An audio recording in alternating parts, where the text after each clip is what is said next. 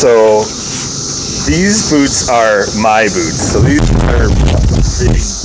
Oh, they're gonna be very big. They're very big. Um, but I'm just like I want you to wrestle with them or do whatever you got to do to like put them on and then and then tighten them up like really like tight. You know, it doesn't actually feel as big. Well, I guess it, it is. You kind of have to adjust My it. toe is supposed to be out, right? Uh, yeah. Thanks.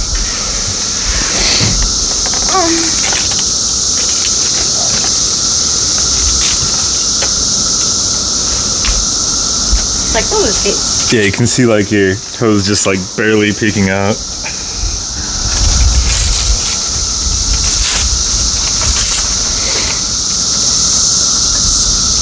And then we have Lee here and her Lee's the real deal. the real deal. I'm recovering.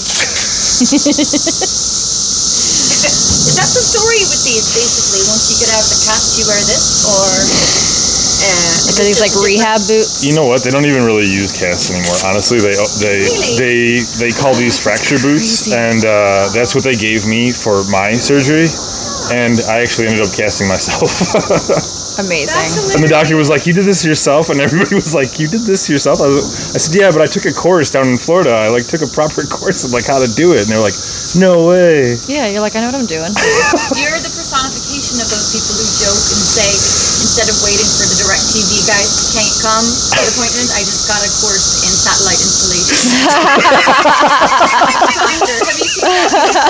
Like, that's exactly That's great. what I did. No, I'll just do it myself. I'm just gonna do Your it myself. appointment is in two weeks. Uh, well, I'll just take a course and do it.